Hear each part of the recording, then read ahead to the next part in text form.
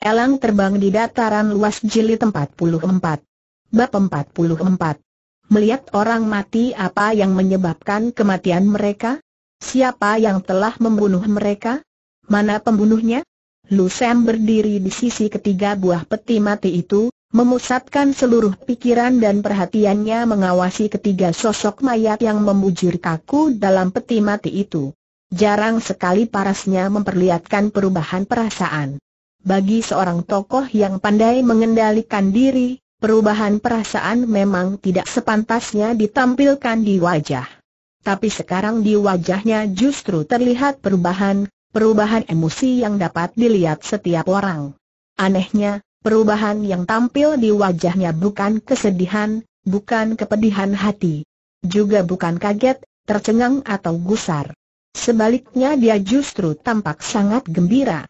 Lewat lama kemudian baru menghela napas panjang, gumamnya, kalian semua adalah orang-orang yang belajar pedang, bisa mati di ujung pedang manusia semacam ini, seharusnya bisa mati tanpa menyesal, Mungkin dia sendiri pun tahu mimik wajahnya tidak serasi dengan nada ucapannya, oleh sebab itu dia pun mengalihkan kembali pokok pembicaraan ke soal lain, ujarnya tiba-tiba kepada Xiaoyan, dapatkah kau temukan di mana mulut luka mereka yang mematikan tentu saja Che Xiaoyan dapat melihatnya. Mulut luka ketiga orang itu pasti terletak di bagian tubuhnya yang mematikan mati karena luka pedang. Setelah melancarkan tusukan yang mematikan, Seng pembunuh sama sekali tidak menambahi tenaganya barang sekecil apa pun, itulah sebabnya mulut luka mereka tidak terlalu lebar, darah yang mengalir keluar pun tidak terlalu banyak. Tak bisa diragukan lagi, ilmu pedang yang dimiliki Seng pembunuh betul-betul hebat. Tusukan pedangnya bukan saja sangat mematikan, penggunaan tenaganya pun sangat tepat, sama sekali tiada sedikit pun tenaga yang diboroskan. Tak diragukan Che Xiao Yan pun sudah tahu siapakah orang itu. Tapi sebelum Lu Sam mengatakan, dia pun tidak mengatakannya keluar. Tiba-tiba Lu Sam mengajaknya menuju ketiga buah peti mati pada deretan belakang. Dalam peti mati itu pun berbaring tiga sosok mayat. Seorang pemuda, seorang dewasa, dan seorang yang berusia pertengahan. Bukan saja dandanan mereka hampir sama dengan ketiga orang itu, bahkan di tubuh mereka pun tak terlihat mulut luka dengan darah yang berlepotan. Orang-orang itu mati tanpa menderita, tiada rasa sakit yang ditampilkan pada wajah ketiga mayat itu. Jelas sebuah tusukan pedang segera mengakhiri hidup mereka.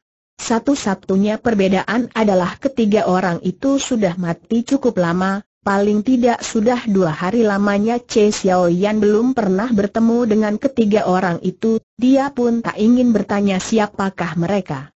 Tapi Lu Sam segera memberitahukan kepadanya, mereka pun anak buahku, semasa masih hidup mereka menggunakan nomor sebagai pengganti nama, nomor 3, 13 dan 23. Sesungguhnya mereka pun terhitung jago pedang kelas 1. Itulah sebabnya ku kirim mereka bertiga untuk membunuh Xiao Hong, jadi mereka tewas di ujung pedang Xiao Hong benar, ketika ku kirim mereka untuk membunuh Xiao Hong, keadaannya seperti ketika ku utus ketiga orang itu datang kemari, sudah tahu kalau mereka pasti akan mati, perkataan itu diucapkan amat santai, sama sekali tiada perasaan menyesal barang sedikit pun. Tak tahan Che Xiao Yan bertanya, Bukankah mereka adalah anak buahmu yang sangat setia? Kalau sudah tahu mereka bakal mati, mengapa masih tetap meminta mereka mengantar kematiannya kembali Lu Sam tertawa hambar. Bagaimanapun juga, cepat atau lambat mereka toh bakal mati demi aku, kenapa pula aku harus bersedih untuk kematian mereka? Tapi tidak seharusnya tanpa sebab musabab yang jelas kau biarkan keenam orang anak buah handalanmu mengantar kematiannya, Kedua orang itu saling bertatap mata untuk beberapa saat.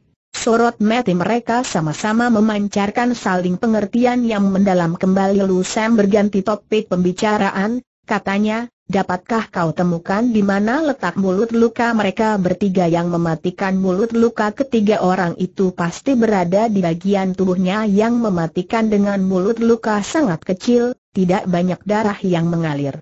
Aku tahu, kau pasti dapat menemukannya, tapi aku tetap berharap kau bersedia melihatnya beberapa kejap.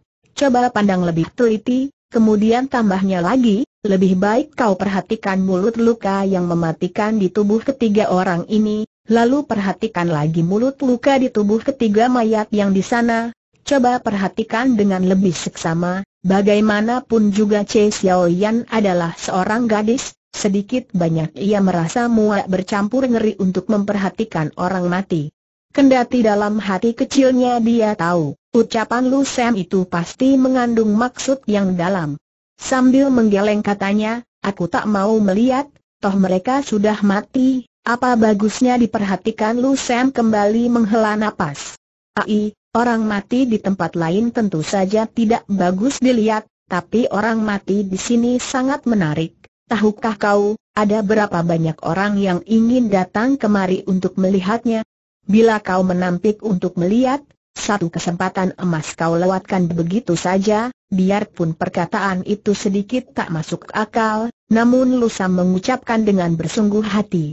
Namun Che Xiao Yan kembali menggeleng.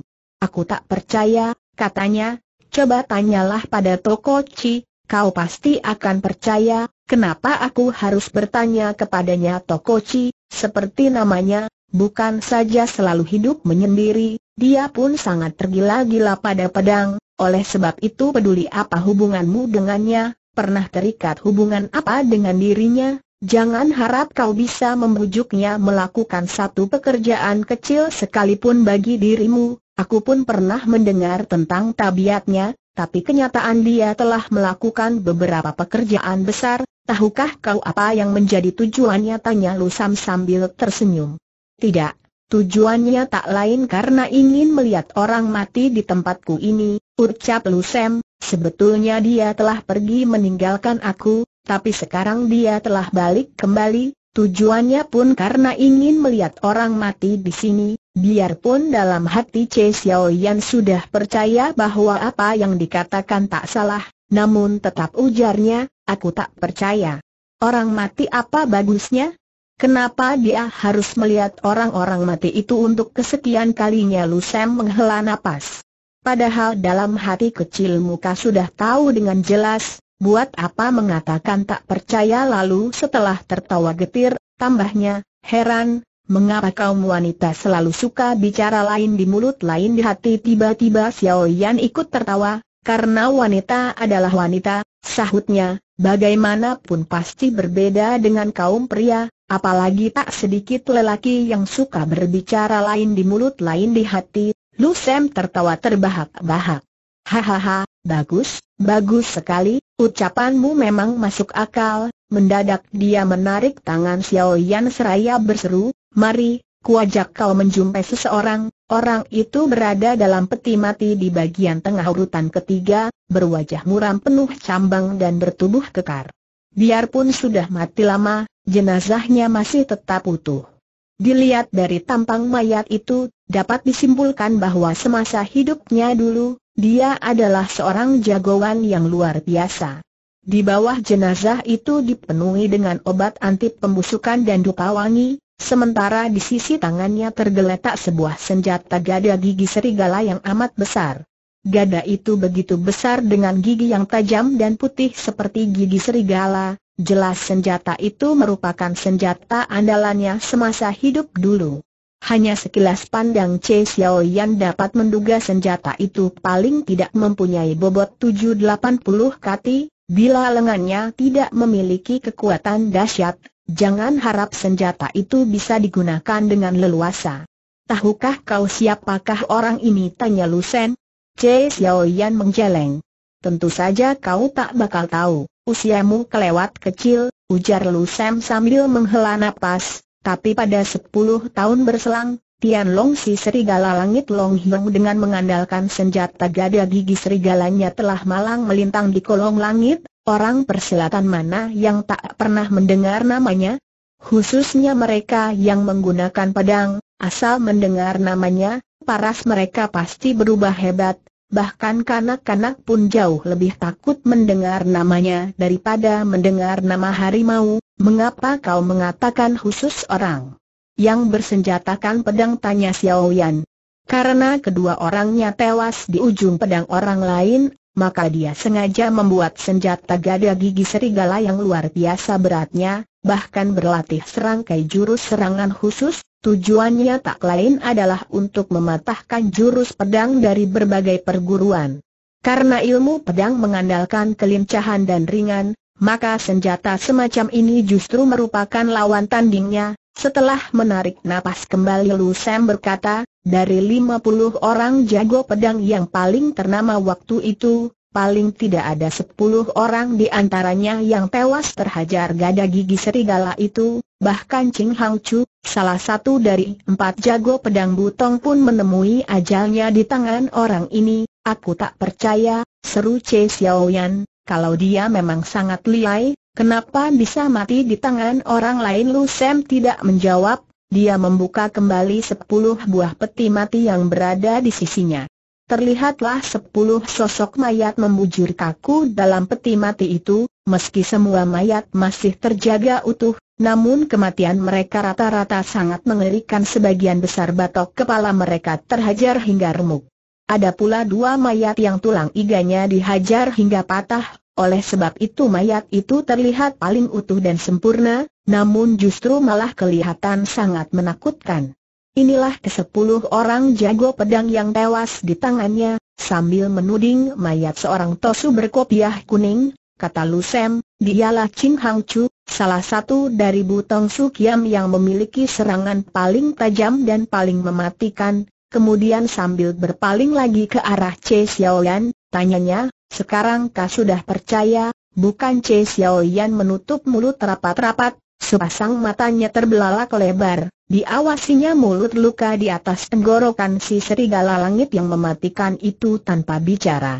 Mendadak sambil tertawa dingin, serunya lagi, aku tetap tidak percaya, Kenapa kau masih juga tak mau percaya kalau gada gigi serigalanya betul-betul mampu mematahkan berbagai ilmu pedang di kolong langit? Mengapa pada akhirnya dia sendiri pun tewas di ujung pedang orang lain tak diragukan mulut luka yang mematikan di tenggorokan Long Hiong disebabkan oleh luka tusukan pedang.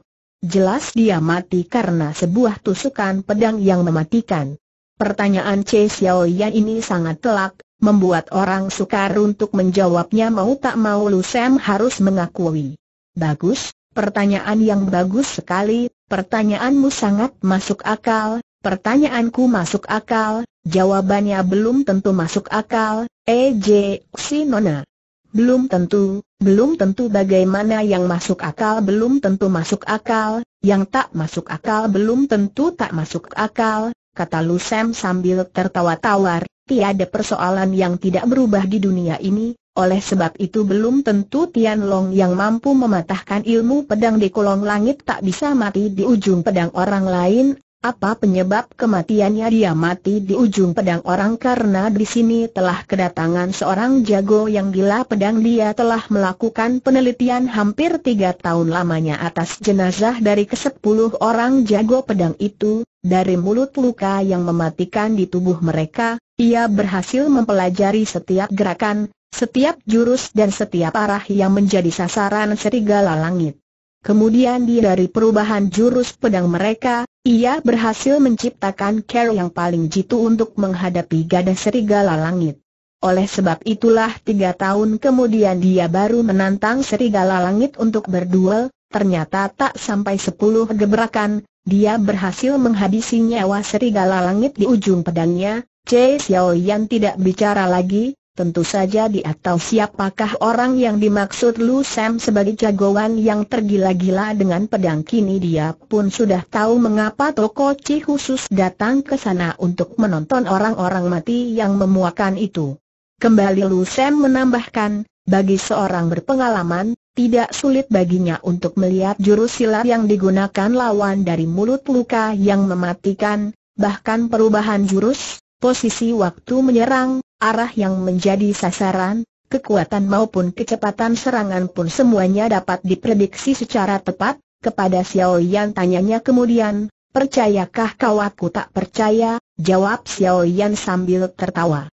Padahal kau sudah tahu kalau di hati kecilmu seribu bahkan sejuta kali sudah percaya meski di mulut tetap mengatakan tak percaya, kenapa masih bertanya terus Toko Chi memang gila pedang.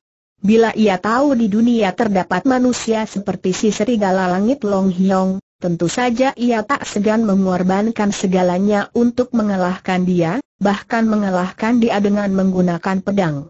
Oleh karena itu dia bahkan tak segan melanggar prinsip hidup sendiri, datang bekerja untuk manusia seperti Lusam. Tapi begitu selesai dengan tujuannya, dia pun pergi tanpa pamit. Di tengah badai pasir dua tahun berselang, kiriman emas hilang di begal orang, Tigi mati dalam pertarungan, Xiao Hong pun nyaris terjebak di tengah gurun pasir ketika badai mereda, untuk pertama kali ia bertemu Po Eng tapi kemudian ditangkap Sui Gin dan Wei Tian Bong dan diantar ke dalam tenda misterius di tengah AC. Di situlah untuk pertama kalinya juga ia bertemu Toko Chi, saat itu Toko Chi baru saja terpenuhi keinginannya dan siap akan pergi, karena itu meski ia selalu hanya menonton saja tanpa campur tangan, tapi akhirnya tetap turun tangan menyelamatkan Xiao Hong, Tentu saja Wei Tian Bong dan Sui Jin tak berani menghalangi, sebab waktu itu mereka sudah tahu orang ini sangat menakutkan, juga tahu dia tidak termasuk anggota organisasi tangan emas pimpinan Lusen. Peduli perbuatan apa pun yang hendak dilakukan, tak pernah ada orang dapat mengurus dan mengendalikan dirinya. Waktu itu memang dia telah pergi, mengapa harus balik lagi? Apa tujuan kebalikannya kali ini? Benarkah maksud tujuannya demi melihat orang mati di tempat ini? Benarkah dia ingin mempelajari perubahan ilmu silat dari seseorang dengan mempelajarinya dari mulut luka yang mematikan di tubuh orang-orang mati itu, agar dia dapat membunuh orang itu? Kalau tempo hari tujuannya adalah untuk membunuh serigala langit, siapa yang akan dibunuhnya sekarang? Xiao Hong, Xiao Hong yang nekat. C. Xiao Yan memandang Lu Sem, Lalu ujarnya sambil tersenyum, padahal kau seharusnya mengerti, biarpun aku mengatakan tak percaya, padahal dalam hati kecilku, aku telah mempercayainya seratus persen, Lu Sam ikut tertawa. Jadi kau telah mempercayai perkataanku tidak percaya, C. Xiao Yan mengedipkan matanya, senyuman nona ini tampak lebih manis dan menawan. Sepatah kata pun aku tak percaya, sengaja Lu Sam menghela napas panjang. Kalau begitu kau tak perlu menuruti perkataanku, tak usah melihat enam sosok mayat lagi, C. Xiao Yan sengaja cemberut. Tentu saja aku tak akan melihatnya, tak akan melihat sekejap pun, karena, setelah tertawa manis, terusnya, karena aku telah melihatnya sangat jelas, sejak kapan kau melihatnya di saat mulutku berkata tak akan pergi melihatnya, kenapa aku tak tahu ketika seorang gadis ingin melihat orang lelaki, Mana mungkin dia akan membiarkan Seng lelaki mengetahuinya, tapi mereka sudah mati, biar sudah mati pun mereka tetap lelaki. C. Xiao Yan tertawa cekikikan, dalam pandangan kami kaum wanita, lelaki tetap lelaki, peduli dia masih hidup atau sudah mati. Kontan Lu Sem tertawa terbahak-bahak. Hahaha, bagus, bagus sekali, umpatan yang bagus. C. Xiao Yan tidak tertawa lagi, Tiba-tiba parasnya berubah jadi amat serius, aku benar-benar telah meneliti keenam sosok mayat itu, bahkan telah menemukan sebuah kejadian yang sangat aneh. Kejadian apa ternyata mulut luka di tubuh keenam sosok mayat itu sama satu dengan lainnya. Ketika bicara sampai di situ, dengan cepat Xiao Yan membuat koreksi, bukan keenamnya sama, tapi nomor tiga sama dengan nomor empat, nomor tiga belas sama dengan nomor empat belas. Nomor 23 sama pula dengan nomor 24, bukan hanya letak mulut lukanya sama, bahkan jurus serangan mematikan dan tenaga yang digunakan pun sama. Jelas memakai ilmu yang sama dan arah yang sama pula, apakah berasal dari orang yang sama tidak?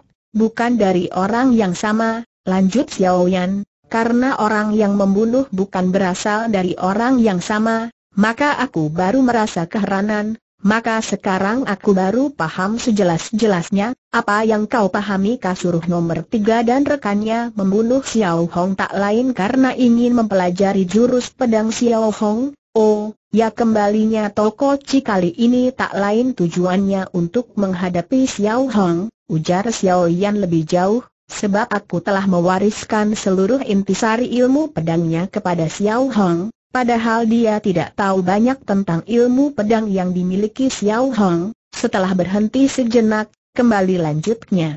Namun setelah dia mempelajari mulut luka yang mematikan di tubuh ketiga sosok mayat itu, keadaan pun jadi berbeda, jadi maksudmu, sekarang dia sudah memahami seluruh ilmu pedang yang dimiliki Xiao Hang Che Xiao Yan tidak langsung menjawab pertanyaan itu, hanya ujarnya, kau mengirim nomor empat dan rekannya untuk membunuh Toko Chi karena kelompok ini memiliki ilmu silat yang mirip dengan kelompok yang kau kirim untuk membunuh Xiao Hang. Kini Toko Chi dapat menggunakan cara yang sama dengan Xiao Hang untuk membunuh kelompok pembunuh ini, dari sini dapat disimpulkan bahwa tidak sulit baginya untuk membunuh Xiao Hang, selama ini Lu Sam hanya mengawasinya terus tanpa bicara. Tadi dia telah melihatnya sangat lama, dan sekarang kembali dia melihatnya lama sekali. Dia mengawasi dari ujung rambutnya yang hitam pekat, jidatnya yang lebar hingga sepasang sepatunya yang kecil mungil, kemudian baru menghela napas panjang. Heran, kenapa Xiao Hang membiarkan seorang wanita macam kau pergi meninggalkannya, sambil menggeleng Lu Sam menghela napas, aku tak tahu, sebetulnya dia itu telur busuk? Atau seekor babi sebenarnya aku pun tidak tahu makhluk seperti apakah dirinya itu, kata Xiao Yan masih tertawa. Dan sekarang-sekarang aku telah memahaminya, kata Xiao Yan lebih jauh, pada hakikatnya dia bukan makhluk apa-apa, dia itu orang, orang mati.